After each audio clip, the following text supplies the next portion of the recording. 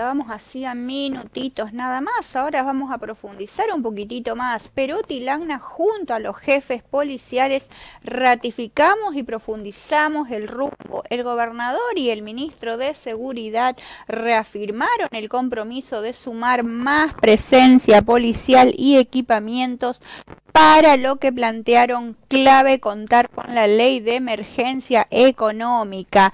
El gobernador Omar Perotti junto con el ministro de Seguridad encabezaron el acto de eh, eh, con el encuentro con un encuentro con toda la cúpula policial donde impartieron el orden de ratificar y profundizar el rumbo que está trazado entre el delito y el Estado. Nuestro mensaje fue claro, tanto el gobernador como el mío ratificamos el apoyo total a la policía cumpliendo sus funciones con mucho compromiso y atento al orden legal establecido, sentenció el ministro Lagna tras la reunión llevada a cabo en la ciudad de Rosario con la jefa de la policía de la provincia, Emilce Chiementi, los jefes de las unidades departamentales y los jefes de secciones especializadas.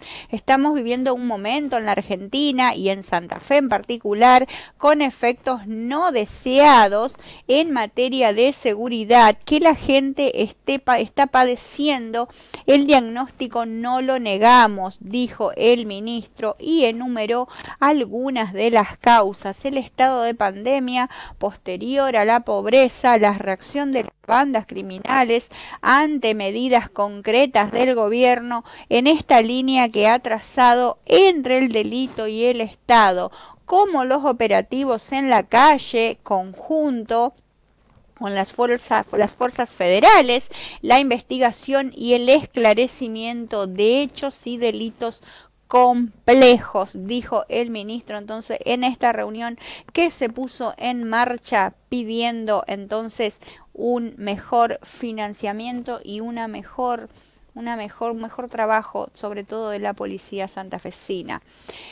El gobernador Perotti también participó de la inauguración del nuevo aulario de la Universidad Nacional de Rosario. Crecer en infraestructura educativa siempre es una buena noticia, aseguró el gobernador de Santa Fe. En una incorporación, es una incorporación muy valiosa, no solo para la universidad, sino para la ciudad y la provincia en general crecer en infraestructura educativa siempre es una buena noticia, aseguró el gobernador visitando el flamante espacio ubicado en el predio denominado La Siberia. Será de uso común para las facultades de arquitectura y de ciencias políticas tiene 27 áreas dedicadas a actividades académicas, dos salones de usos múltiples, además del edificio de más de 2.900 metros cuadrados. La obra también incluyó la intervención de la zona que la rodea con instalación de luminarias parquización y trazado de una calle. Nosotros estuvimos allí y recaudamos imágenes para compartir con ustedes. Creo que es un excelente mensaje que la universidad hoy le da a toda la comunidad. El reconocimiento a cada una de las autoridades que expresan esto, en quienes iniciaron, en quienes continuaron, en quienes finalizaron, con sus equipos, con sus colaboradores, que quizás es, como decía Franco, difícil poder mencionarlos a todos, y a veces suena injusto agradecer a todos lo que lo hicieron posible. Pero cada uno creo que internamente se lo lleva porque ha puesto su granito de arena por una universidad que quiere, por lo que significa una universidad en la formación de nuestra gente, por lo que significa para, para nuestra sociedad y por lo que significa las expectativas que se generan en el conocimiento. Nosotros estamos convencidos que podemos ser el corazón de la economía del conocimiento. Estamos plenamente convencidos de las capacidades de nuestro sector científico-tecnológico. Estamos plenamente convencidos de los talentos que tiene nuestra provincia, que tiene nuestra región, y que ustedes han sabido formar de la mejor manera y están preparados para seguir haciéndolo. Por eso estos primeros 53 años sin duda que han generado avances muy valiosos en la vida de la institución universitaria, en la vida de la comunidad de Rosario, de toda la región y de nuestra provincia.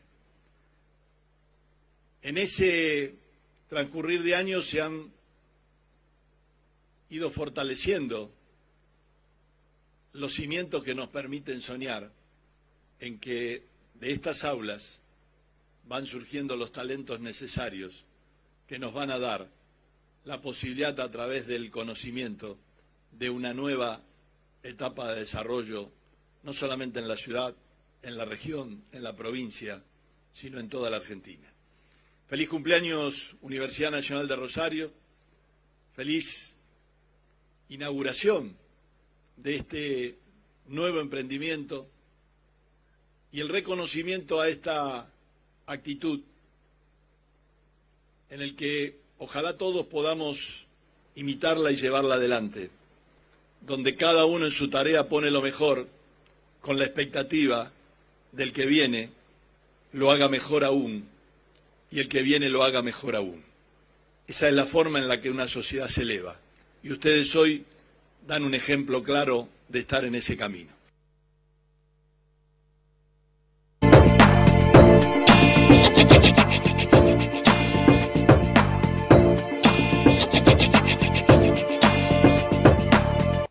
Y seguimos hablando de seguridad del ministro Lagna y Chimenti encabezaron un operativo de control y prevención en la ciudad de Rosario. El ministro de Seguridad de la provincia y la jefa de la policía de Santa Fe supervisaron el despliegue de las fuerzas en la zona de Avellaneda y 27 de febrero de la ciudad de Rosario. El ministro de Seguridad de la provincia junto a la jefa de la policía de Santa Fe encabezó el día lunes un gran operativo de control y prevención en la zona allí de Rosario que comprende las calles de Avellaneda y 27 de febrero de la ciudad de Rosario. De la actividad participó también la Secretaría de Prevención del municipio. En ese marco, Lagna indicó este tipo de operativo es el que se está pidiendo por los vecinos y lo estamos haciendo con mucha presencia policial en el territorio y en cada barrio, con despliegue de agentes, patrullajes en las zonas, controlando motos y poniendo todas las herramientas para la prevención del delito.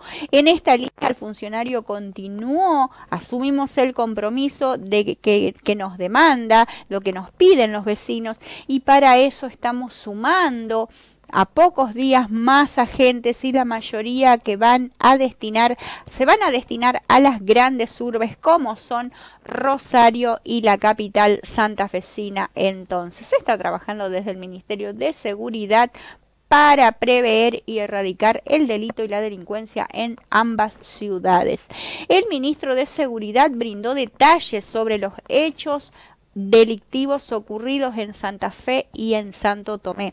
Se trata del caso del quemacoches en la ciudad capital y del robo a la distribuidora Don Ángel allí de la ciudad de Santo Tomé. El Ministerio de Seguridad a través del jefe y subjefe de la unidad regional Urri 1 Martín García y José Carruega y la jefa del Comando Radioeléctrico de Santo Tomé Ivana Carballo brindaron detalles diferentes sobre hechos delictivos ocurridos en la ciudad vecina de Santo Tomé y aquí en la ciudad de Santa Fe. En un primer momento García destacó el espíritu de servicio y el profesionalismo del personal policial y refirió al caso del quemacoche señalando que los hechos fueron esclarecidos a partir de allanamientos que se realizaron en la mañana en ambas ciudades. Tenemos imágenes al respecto. La verdad que tuvimos un fin de semana bastante movido, se trabajó, quiero destacar el, el espíritu de servicio del personal y el profesionalismo en distintos hechos que tuvimos y que hemos esclarecido, eh, tal es así como ustedes saben el hecho de, de los quemacoche que fue esclarecido con los allanamientos de esta mañana, eh, el procedimiento del día viernes del Comando Radioeléctrico de Santo Tomé, también tuvimos otros hechos esclarecidos con allanamientos que hicimos esta mañana, también por un robo calificado con el uso de arma blanca, también con dos detenidos. Eh, y como les decía, acá el subjefe de Unidad Regional 1, el subdirector Carruega, le va a dar los pormenores de los allanamientos de esta mañana eh, por el tema de los quemacoches. Esto ocurrió en la madrugada del día 17 del corriente mes y como corolario de esa investigación donde se produjeron la quema de seis vehículos en distintos puntos de la ciudad, concretamente más en la zona sur, en el día de la fecha se realizaron dos allanamientos, en cuya intervención está el doctor Lascuraína a cargo de la investigación, quien es que la controla y la dirige. Eh, la investigación fue realizada por la División de Informaciones de la Unidad Regional, eh, que culminó con la detención de tres personas del sexo masculino eh, que estaban habitando acá en, las inmediaciones de la estación Mitre, destacando por supuesto el profesionalismo con el que realizó la investigación, que es digno de destacar eh, estuvo a la altura de cualquier unidad especial de investigación, así que estamos muy contentos, muy orgullosos, porque los elementos que hay son muy interesantes, muy concretos. Eh, se realizaron, se tomaron declaraciones, se realizaron peritajes, seguimientos de cámara que fue fundamental, tanto privadas como de la Municipalidad de la Ciudad de Santa Fe, como la de la Central de Emergencia 911. Eh, se pudo individualizar a estas tres personas, que habitan ahí en inmediaciones y bueno, hoy se concretó la detención de los tres y se secuestraron también elementos de interés para la causa. ¿Estas personas tienen antecedentes? Sí, conforme tenemos en los registros nuestros tendrían antecedentes, pero estaban todos gozando de libertad, así que en este momento no tenían ninguna deuda con la justicia. El viernes, en horas de la siesta, ingresa un llamado eh, telefónico avisado vía radial por el sistema 911 Emergencias es que nos avisan de un posible robo con autores en el lugar, armados, desde la llamada hasta el arribo del personal policial que se encontraba patrullando de comando, junto con motorizada, que dependen de la misma dependencia. Demoraron un minuto en asistir. En un primer momento, al llegar al local, lo que pasa es que, bueno, eh, se encuentran con las víctimas, las cuales asisten, para luego, eh, ante la situación, como ya sabemos que ocurrió, un enfrentamiento y bueno, el desenlace que ya todos conocemos. ¿El enfrentamiento se produce en el interior o en el exterior? En el exterior, en el exterior fue. Destacando, eh, si me permiten, el orgullo que se siente comandar a un grupo de profesionales que se desenvolvieron eh, de esa manera, eh, tratando de salvaguardar la vida de los ciudadanos de la ciudad de Santo Tomé y la propia. Tenían ropas similares, uniformes que puede llegar a confundir a, a las personas, digamos, civiles, comunes, sí podían llegar a confundir.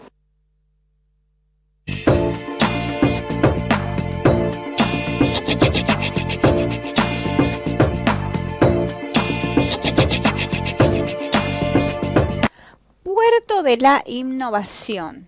Perotti y Hawing firmaron un acuerdo para promover la innovación y la sustentabilidad del sistema de conocimiento. El gobernador Omar Perotti y el intendente de Rosario, Pablo Hawing, participaron el día lunes de la firma de un acuerdo de innovación y sustentabilidad del sistema de conocimiento local Puerto de la Innovación, que tiene como objetivo vincular a todos los actores de la economía del conocimiento y obtener sinergias integradas para la actividad tecnológica, impulsando y promoviendo habilidades y talentos, generando la búsqueda, el fomento y el desarrollo de nuevas tecnologías y proponer a una nueva economía tendente al bienestar social y ambiental. Las palabras fueron, tenemos que aprovechar los talentos que pueden germinar en cada rincón de la provincia y saber mirar hacia ese talento para poder captar motivarlo y atraerlo a una carrera científica, a un proyecto que genere una nueva empresa de base tecnológica, que lo, lo atraiga como profesional, que lo arraigue a su provincia y a su país. Ese es el entorno y el contexto que queremos dar, aseguró el gobierno. Nosotros fuimos testigos de este acto. Tenemos que aprovechar plenamente los talentos que pueden germinar en cada rincón de esta provincia y tenemos que saber mirar a ese talento para poder captarlo, para poder motivarlo, para poder atraerlo a una carrera científica, para poder atraerlo a un proyecto que genere una nueva empresa de base tecnológica, que lo atraiga como, como profesional, para participar de la misma. Ese es el entorno y el contexto que tenemos que dar. En este contexto provincial es muy bueno, es saludable y alentamos que los territorios jueguen muy fuerte y que esto que estamos presentando hoy en Rosario se multiplique en cada una de nuestras ciudades que tiene capacidad o potencialidad. Que Santa Fe muestre lo suyo, que Reconquista muestre lo suyo, que Venado Tuerto, que Rafaela muestren lo suyo, es sin duda mostrar lo que cada uno sigue haciendo y va a seguir haciendo, pero en un marco de coordinación, de saber que puede hablar con el otro en confianza, de saber que está hablando con alguien que le va a sumar, con alguien que quiere y tiene una visión positiva, porque en ese desarrollo nos beneficiamos todos. Quizás en algunos otros momentos estaría la discusión, che, pero esto es de la provincia, es del municipio, ¿por qué lo hacen juntos? ¿Por qué? El tema es por qué no haberlo hecho antes. Y no nos quedemos en por qué no haberlo hecho antes.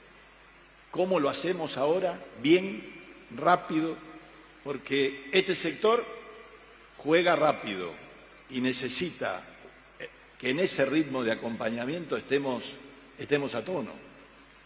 Porque si no los talentos, el mundo capta talentos. Y muchos con más condiciones y espalda económica que nosotros para captar esos talentos. Somos nosotros los que tenemos que aprovechar para que esas diferencias económicas las podamos subsanar con otros atractivos, con otro entusiasmo, con la posibilidad real de jugar desde aquí en el mundo y de ser claramente actores de primer nivel en la frontera del conocimiento y de la investigación. Y tenemos con qué hacerlo. Y tenemos las condiciones para optimizar plenamente el vínculo con la universidad, con el municipio, con las instituciones, con la academia, con cada uno de los que expresa un centro de investigación. Este mensaje tiene que ser muy fuerte, y tiene que llegar a, quienes seguramente hoy no tienen probablemente la menor idea de que nosotros estamos aquí haciendo esto, pero tienen la expectativa de que desde el conocimiento pase algo que nos ayude a encarar y a encontrar una etapa de desarrollo que nos permita como provincia, que nos permita como, como Argentina eh, un futuro distinto.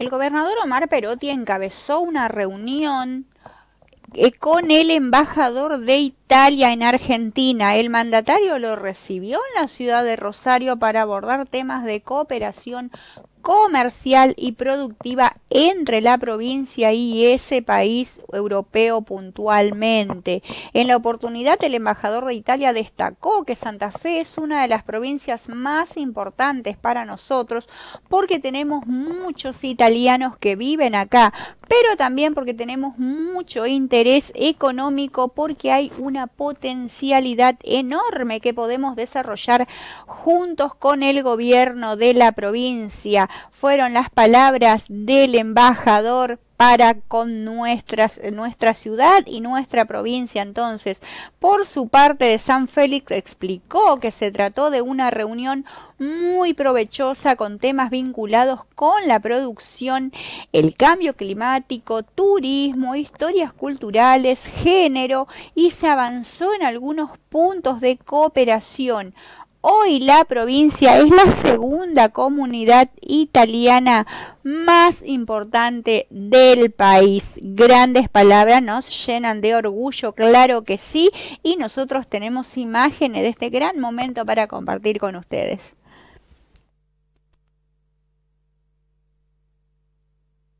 Es la primera visita a una provincia argentina del embajador de Italia, llegó al país hace tres meses y decidió recorrer eh, la ciudad de Rosario con un perfil muy productivista, una agenda orientada a todo lo que tiene que ver con eh, financiamiento en materia de cambio climático, de energías renovables, pero también con un ímpetu de eh, de, orientar ese financiamiento climático a la producción santafesina, sobre todo en aquellos insumos que tienen potencial con la industria europea. Hablamos del sector de curtiembres, se habló del sector este, de, los colorantes, se habló del sector de autopartes también, maquinaria agrícola y por supuesto lo que tiene que ver con industrias culturales y, y también la economía del conocimiento, se le presentó el Fondo Santa Fe 500, la Ley de Financiamiento de Acción Climático y bueno, la provincia de Santa Fe eh, tiene un gran historial de, y muy profundo historial de cooperación con Italia,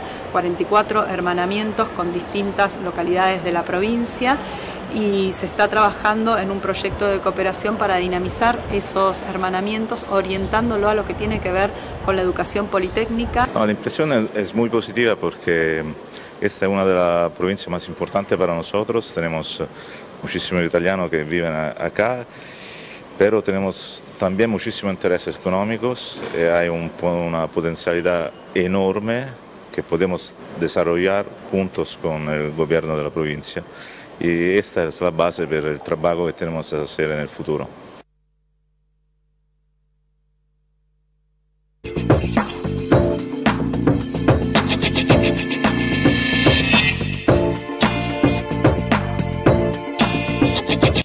Tenemos que volver a hablar de COVID-19. La provincia comenzó el operativo de vacunación en geriátricos con esta famosa dosis de refuerzo. Fue el día lunes en Santa Fe y Rosario.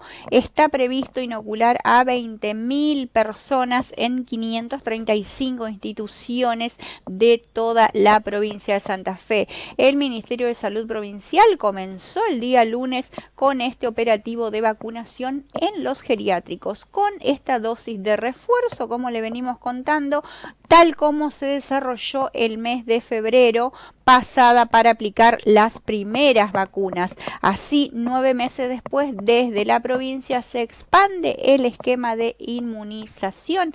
Nosotros tenemos material para compartir con ustedes. Bueno, hoy se comienza aquí en la ciudad de Santa Fe con este refuerzo en una población que sigue siendo la más afectada a nivel mundial por la pandemia, que son los más 60 años.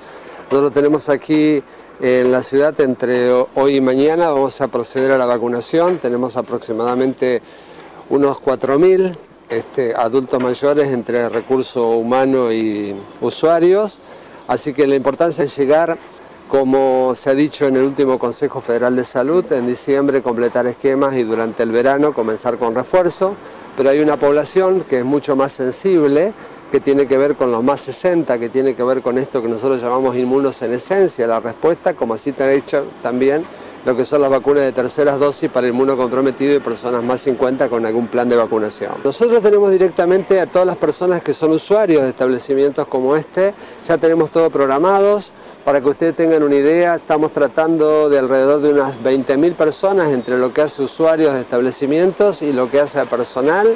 Lo vamos a hacer en, todos estos días acá, ya que tenemos vacunas disponibles, exactamente igual que el año pasado. Iremos domicilio por domicilio, tenemos 535 residencias en la provincia, un número muy importante, con una territorialidad que que marca distancia, así que la idea es comenzar a trabajar con 700 turnos por día, que es lo que empezamos a desarrollar a partir del día de la fecha y llegar lo antes posible con este refuerzo, porque la idea es que para el otoño nos encuentre con el mayor porcentaje de inmunidad posible en toda la población en virtud de lo que uno está este, visualizando que ocurre en el mundo. Este, es AstraZeneca en lo que hace a este refuerzo, pero han quedado algunas dosis de Moderna para algunas personas y van a ser inoculadas con, con las vacunas que tengamos disponibles. Lo importante es que son todos este, esquemas que están aprobados. La importancia está marcada en lo que ve el mundo, ¿no? Hoy nosotros estamos observando que todas aquellas personas que están teniendo hospitalizaciones, que están teniendo casos graves, tienen que ver con esquemas incompletos o con no vacunados porque estamos viendo hoy la aparición de esta nueva variante, una nueva variante que amenaza no solo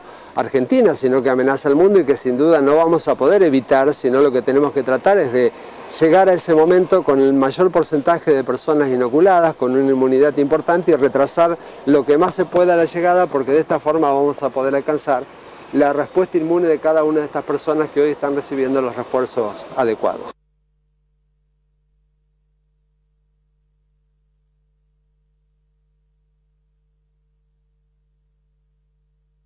Ustedes saben que para nosotros es un tema muy importante. Si ustedes recuerdan, en febrero pasado eh, hicimos la recorrida en los geriátricos de toda la provincia y se colocó en febrero la primera dosis. Luego hicimos eh, vacunación con gripe, se colocó la segunda y bueno, contar hoy con mucho, con mucho orgullo que ya la provincia de Santa Fe hoy comienza con seis equipos móviles desde Rosario para toda la región sur y seis equipos móviles de Santa Fe para región centro-norte. La idea es llegar a 535 establecimientos geriátricos, son más de 20.000 personas, porque ahí contamos los residentes y todos los eh, trabajadores de la salud, los acompañantes, los que están relacionados trabajando en estas eh, residencias geriátricas. Que esta provincia ya tiene el 73%, 73% de la población general con esquema completo, con dos dosis. 73%, un gran número. Y se está avanzando en los refuerzos. En la provincia de Santa Fe en estos momentos el 90% es variante Delta. Si ustedes recuerdan, no hace mucho que nos preguntamos cuándo viene la Delta, cuánto hay de Delta, y hoy ya pareciera que Delta no, no tendría tanta importancia. Delta tenemos, Delta está circulando y eh, claramente, fíjense qué importancia la vacunación, porque Delta que fue tan grave y severa en el resto del mundo, Aquí no tuvo tanto impacto y la única explicación lógica es que la vacunación fue eh, la gran barrera de contención. ¿Y cómo lo podemos aseverar?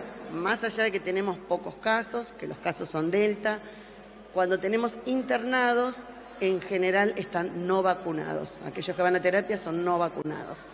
De la mano de esto, eh, ¿qué pasa con Omicron? Es la nueva variante que comenzó en África Ustedes recuerdan que muchas veces yo digo algo que es para que volvamos a tener en claro, que hasta que no vacunemos el mundo entero, y yo decía, hasta que no vacunemos a África, esto no termina, porque esto comenzó por un caso, por alguien en, Wuhan, China, y se globalizó. África tiene muy bajo nivel de vacunación, por eso es la donación que hizo Argentina a, Mozambique, eh, y es lo que se pide a todo el mundo que haga para que podamos vacunar al África y a cualquier reservorio que tengamos en el mundo. Eso es importante porque si no, no hay manera de terminar con esta pandemia. De la mano de, esto, lo que se ha visto, esta variante sudafricana, la gran diferencia que tiene es que en, la, tiene muchas mutaciones. Creo que Delta tenía tres y esto tiene como 34 mutaciones. ¿Cómo va a funcionar? Bueno, no lo sabemos. No hay en la provincia de Santa Fe, no hay en la provincia, no, no hay en la Argentina aún. Se han tomado medidas con el ingreso de vuelos de África, eso sí y si alguien ingresara desde África, bueno, tiene que hacer em, cuarentena, tiene que hacer PCR y demás. Eso ya está todo em, normatizado. Pero en estos momentos no hay y creemos que todo lo que tenemos para, para cuidarnos y para protegernos y para poder seguir con la mayor normalidad que este nuevo paradigma nos impone es, uno, vacunación, primera, segunda, dosis de refuerzo, fundamental hoy hacer los refuerzos y continuar con las medidas de cuidado. Ustedes recuerdan que nosotros siempre en la provincia dijimos las mascarillas siguen. Bueno, hoy el mundo las está volviendo a instaurar porque claramente tienen que seguir hasta que esto no esté un poco eh, más claro o más controlado.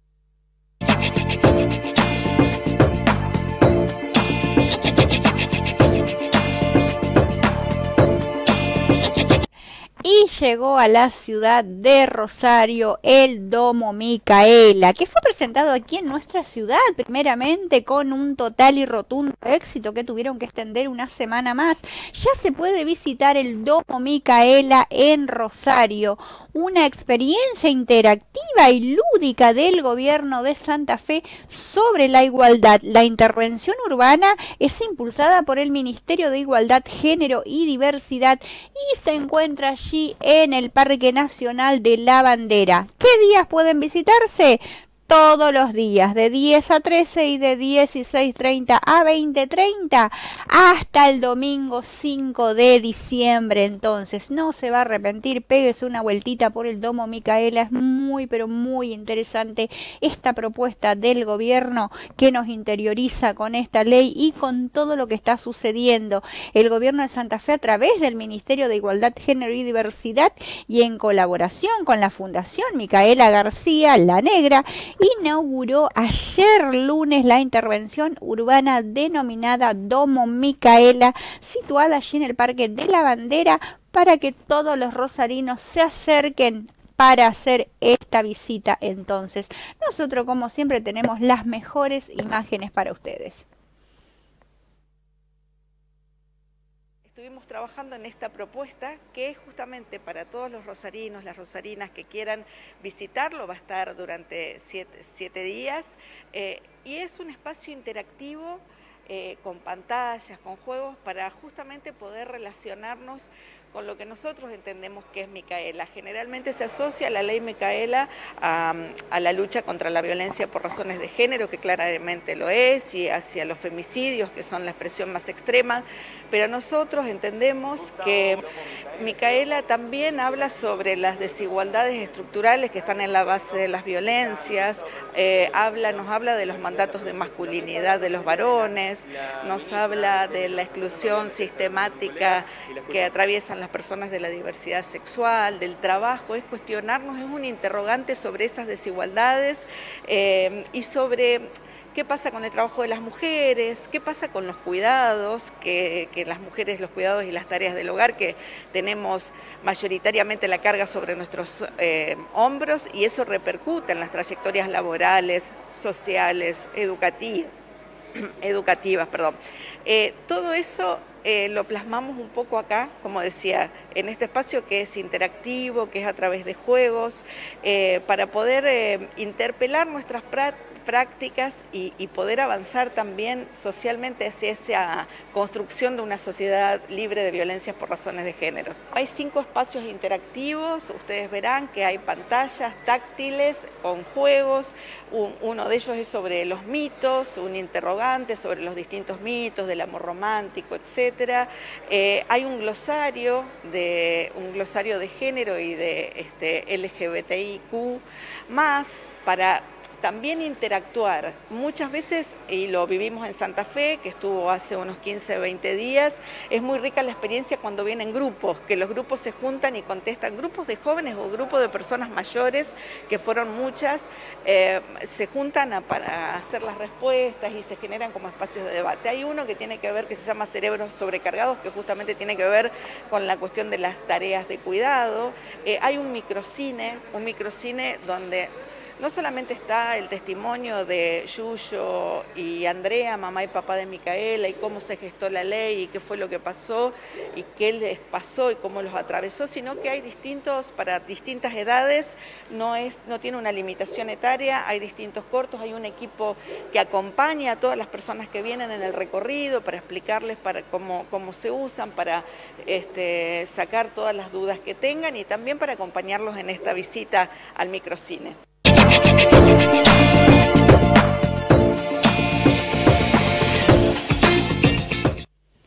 Y volvemos a hablar de los caminos de la ruralidad. La provincia firmó convenios para mejorar las trazas en Eguquiza y Josefina. En esta ocasión implican 12.408 metros de caminos en los que se invertirán más de 43 millones de pesos. La provincia sigue trabajando en cada pueblo, en cada ciudad con este programa Caminos de la Ruralidad. Se firmaron dos nuevos convenios de mejoramiento en las localidades de Egusquiza y Josefina. Estas obras implican una inversión inversión superior a los 43 millones de pesos. Prevén ripiar más de 12 mil metros de caminos rurales. Las obras tendrán impacto en la producción, en la educación, el arraigo de la región, mejorando y manteniendo los caminos rurales del territorio provincial mediante el diseño de estas nuevas trazas eh, viales mejoradas. Durante los actos de dicha firma de convenios, el director provincial de Coordinación y Articulación Territorial, Matías Giorgetti, valoró este programa ya alcanzó 14 departamentos de toda la provincia. Estamos próximos a firmar más de 30 convenios y llevamos alrededor de 1.100 millones de pesos invertidos en el territorio provincial. Claro que sí, siempre es bienvenido mejorar los caminos para que cada uno de sus habitantes estén interconectados. Y volvemos a Santa Fe, volvemos aquí al Molino, fábrica cultural. ¿Por qué? Porque el café literario del Molino abre al público junto al Santa Fe Más. El café literario del Molino, uno de los espacios que funciona aquí en el Molino Fábrica Cultural en Boulevard Galvis y Pedro Vítori, comenzará en diciembre a funcionar como una cafetería y pastelería para el público en general. El lanzamiento será mañana miércoles primero de diciembre a las diez y media de la mañana. La propuesta gastronómica que comenzará a funcionar de lunes a viernes de 9 a 12 será llevada adelante por una unidad productiva del programa Santa Fe Más. Aprender, aprender haciendo que depende del Ministerio de Desarrollo Social. Este grupo de jóvenes realizó su trayecto formativo en la cocina del Café El Molino y se constituyeron como unidad productiva, como parte de la cooperativa de alimentos populares que acompaña el desarrollo de este proyecto. Si anda por ahí dándose una vueltita, quiere descansar, sentarse un ratito a tomar un café y leer un libro, bienvenido sea entonces al Café Literario del Molino. Y vamos con la última noticia de la mañana. La provincia y supermercadistas del Centro Sur santafesino presentaron una canasta navideña a precio promocional. Falta exactamente 30 días para fin de año, antes está Navidad y por supuesto el gobierno apuntó ahí también. El gobierno de la provincia a través de la Secretaría de Comercio Interior y Servicios del Ministerio de Producción, Ciencia y Tecnología presentó ayer lunes en la ciudad de Rosario una canasta navideña a precio promocional que ofrecerá a los comercios adheridos a la Cámara de Supermercadistas de Rosario. La misma se comercializará a un costo de 399 pesos y contará con cinco productos, pan dulce, turrón, garrapiñada, budín y una sidra. Las ofertas estarán disponibles a partir de mañana y hasta el 31 de diciembre en 23 localidades de la provincia de Santa Fe. Tenemos la nota al respecto. Es importante el mensaje, el mensaje en un momento de dificultades de que al consumo popular se lo quiere acompañar eh, con una canasta, que puede no completarte la mesa del 24 y el 31, pero sí marca una referencia. También estamos esperando las definiciones de la canasta o de los artículos navideños que a nivel nacional, para lo que son las grandes cadenas de supermercados, que tenemos 43 bocas de venta en la provincia de, de Santa Fe de ese formato, también tengan dentro de precios cuidados artículos con un precio que se sostenga, entiendo yo, hasta el 7 de enero, que es cuando se van a, hasta cuando se van a sostener los precios cuidados de la resolución 1050 que dictó el secretario Feletti. Bueno, son cinco productos, lo que es sidra, pan dulce, budín, garrapiñada y turrón. estos productos van a estar identificados con su cartelería en cada comercio amigo. No nos olvidemos que CASAR participa los autoservicios, supermercados, cadenas regionales, todos aquellos negocios donde compramos habitualmente. Al confirmado al día de hoy tenemos 83 comercios ya adheridos a, a lo que es la canasta navideña y a la espera también de, estos, de, esta propuesta que vayan adhiriendo otros más. No nos olvidemos que esto es un acuerdo, acá nadie impone un precio determinado y es para el consumo familiar. Para eso está nuestra, nuestra Cámara, realmente ellos pueden participar y también convocamos a, otros, a otras cámaras y a otros sectores de los comercios que puedan, quieran participar y nosotros les damos las herramientas como para que lo hagan. Esto es una, primera etapa de, un programa de precios, después lógicamente cada, cada empresa va a tener su canasta, su caja con diferentes productos, lógicamente cada, cada bolsillo de cada consumidor.